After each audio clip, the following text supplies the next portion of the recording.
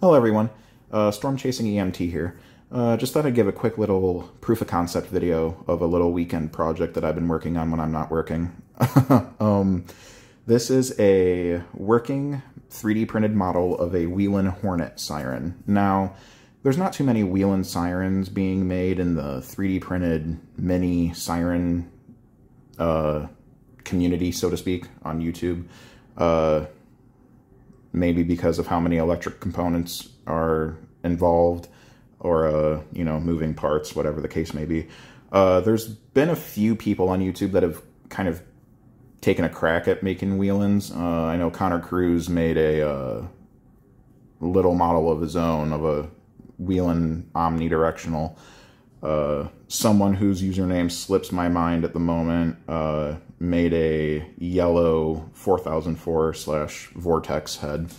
Um, really just depends on uh, what rotator assembly he chooses to mount that on. Uh, that makes it what it is, but uh, that's neither here or there. A uh, little bit of background on this project. the files, coding, everything like that is available on printables.com. Guy by the name of JNPrinting. Uh, very helpful person. Uh, helped me with the programming on this because I only really have limited experience with Arduino, uh, which is a big part of this project, by the way. Uh, if you are not versed at least a little bit in programming, this is going to be kind of moderately to very hard for you. Sorry to burst anyone's bubble, but uh, you need to be pretty uh, tech savvy for this. Uh, not saying I am by any stretch of the imagination, but I just happen to have past experience with Arduino and stepper motors and things like that, which you will need for this project. Uh, if my camera will cooperate, I'm going to try to get good views of what I got going on down here. So, um, the rotator box down here is really just a uh, gear and motor system uh, with an axle that attaches to the actual projector itself.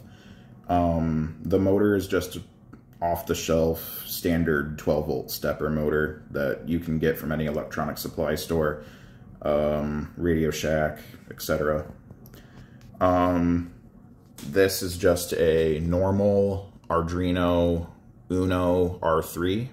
Um, that was my board of choice. It's very common. Uh, you can pretty much just program these to do whatever you want.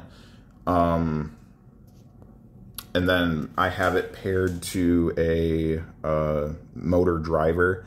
You absolutely need to have this because the Arduino on its own cannot run the stepper motor due to voltage con uh, constraints.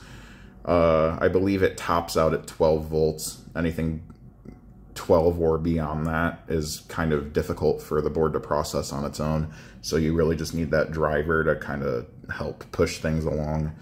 A um, bunch of technical mumbo jumbo that I'm not really going to get into right now because this video is kind of longer than it already is.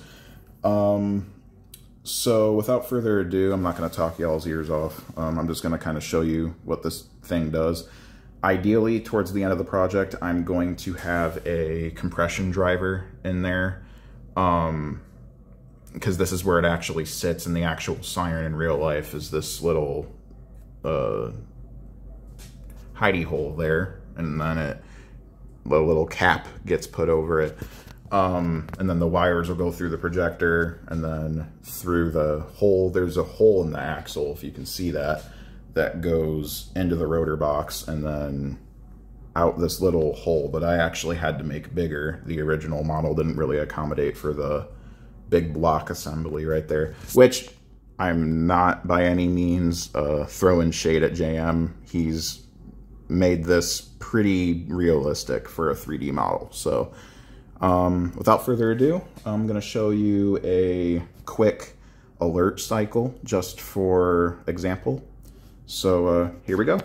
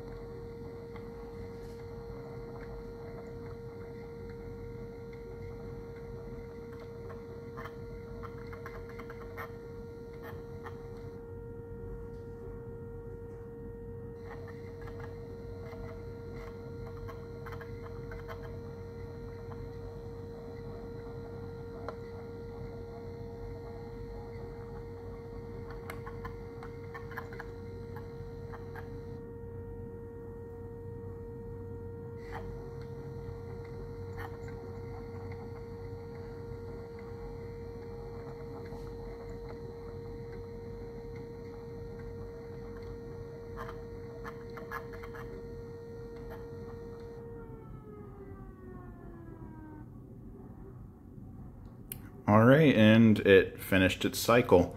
Um, that's really all there is to it.